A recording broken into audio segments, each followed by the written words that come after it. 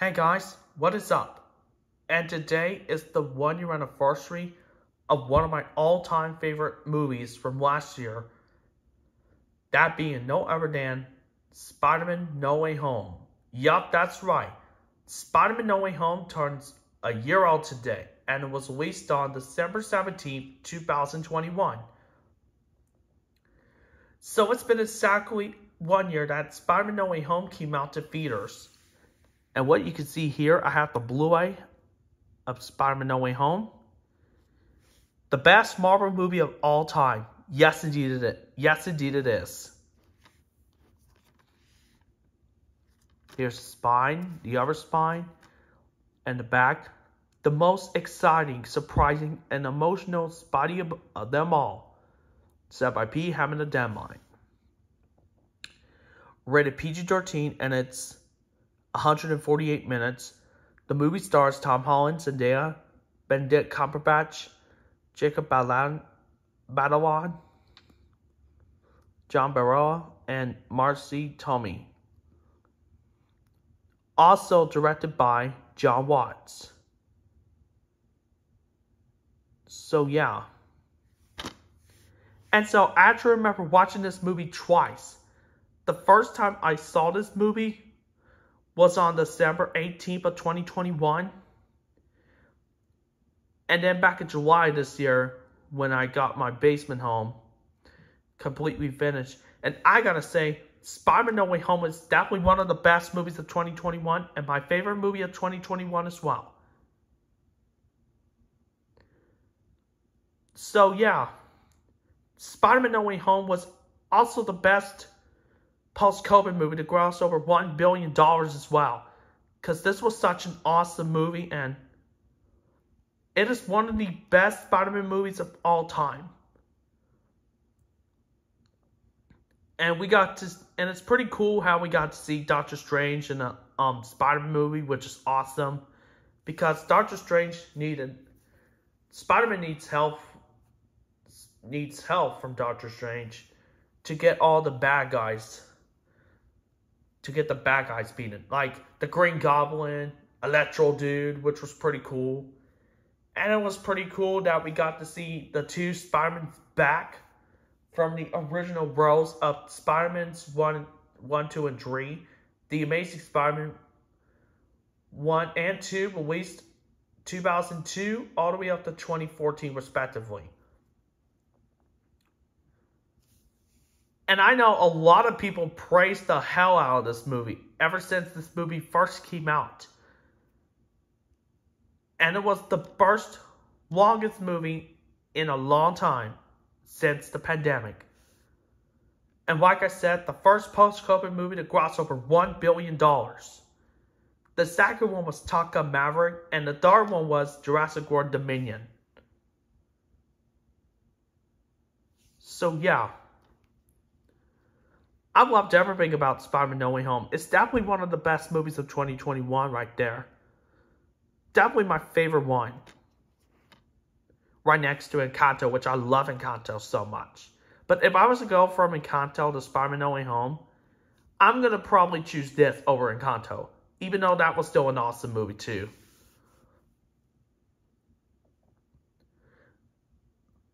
But I still have yet to see Taka, Maverick and Jurassic World Dominion if Jurassic World Dominion ends up being good, I'll probably get it on Blu-ray. But if I don't, if it ends up being bad, I'm not going to get it. Because I heard pretty mixed things about this one. And also, inspired by Spider-Man No Way Home, Sam Raimi, the director from the first three Spider-Man movies, also loved this movie as well. And they were going to and they were talking about doing a Spider-Man 4 and the Amazing Spider-Man 3. But that's not going to happen until the future comes.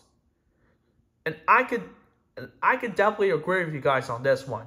Spider-Man No Way Home is even better than Hotel Transylvania 4 Transformania, which is definitely the, the worst movie of the year so far. And this should have been the last good Marvel sequel well, in my opinion, this has got to be the last good sequel the last good modern sequel. But if I was to join this or Hotel Transylvania 3, I'm probably going to say both. But mostly it's going to be Transylvania 3, Summer Vacation. Even though I still love that movie, along with and sequel, along with Bad Boys for Life and Toy Story 4. And of course, John Wick 3 Parabellum, along with Terminator 2 Judgment Day. Which that is my dark favorite sequel, right behind Hotel Transylvania Dream and Terminator 2 and Terminator 2 Judgment Day from 1991. Which both are fantastic sequels as well.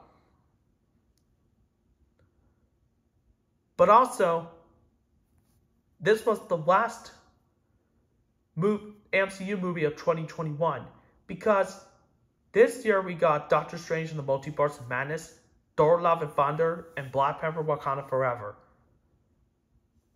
And which speaking of Phase 4, Phase 4 has gotten some ups and downs. But you know what?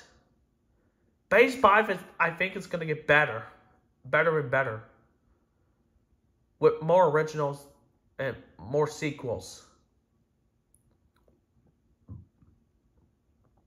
But also, it would have been cool if Venom, played by Tom Hardy, plays in the MCU Spider-Man movie, which that would be cool and awesome. Which that would be awesome and so cool to see. Although I'm probably going to have to watch the first two Venom movies before there's an MCU Spider-Man 4 and I'm pretty, and I've heard from a lot of people saying that Tom Holland is taking a break from Spider-Man. And they also released this movie back in September this year with Spider-Man No Way Home, the more stuff, the more fun stuff version. Which is a good thing that I've already seen it two times, so I don't need to see it again. So there's no need for me to go see an extended version of this one. I think the extended version might be more superior to the original. I'm not sure yet. I'm just sticking with this version because I really loved Spider-Man No Way Home so much with a passion. This was fantastic. This is also the best MCU movie from the 2020s decade. I loved it. Loved it so much.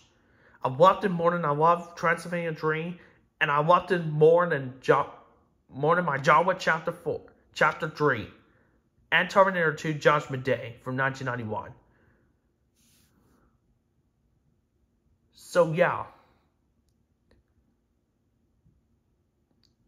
And also, the people from the original Spider-Man, like William Dafoe and Dr. Octopus, they made a comeback, which is pretty cool. And it's also, and also Spider-Man No Way Home Feels like a Spider-Man version of Avengers Endgame. Feels like another version of Avengers Endgame, but with Spider-Mans. And uh, the monsters, like the Green Goblin, the, the Doctor Octopus, and Electro Man. But in the next MCU Spider-Man movie, probably Venom and Gwen Stacy from the first two from the first three movies and the first two Amazing Spider-Man movies respectively. But I think there there might be only one. Only one of them. Because it's a shame back in 2020 that we didn't get um, a billion dollar movies, but a billion dollar movie from 2020. But at least this one grossed over $1 billion last year. And 2021 was such a great year for movies, shows, and cartoons. Even way before Disney ruined it this year. But it was, but also, this one, like I said, this sequel, Spider-Man No Way Home, is even definitely better than Hotel Transylvania 4, which, of course, I can't stand that movie. So, Anyways, with that being said, on this day in 2021, Spider-Man No Way Home came out to theaters, Love this movie so much. Loved it more than I loved Transylvania Dream, more than I loved Terminator 2 Judgment Day, and more than I loved Rayman, Puss in Boots, Cloudy with the Chance of Meatballs, Toy Story, Finding Nemo, The Little Mermaid. All these other movies, to name but a few. This is definitely on my top favorite movies list. I loved it. So yeah, my top 10. I loved it. So anyways, thanks for watching. Until next time, this is GalantisFan, EST.2001. See you later.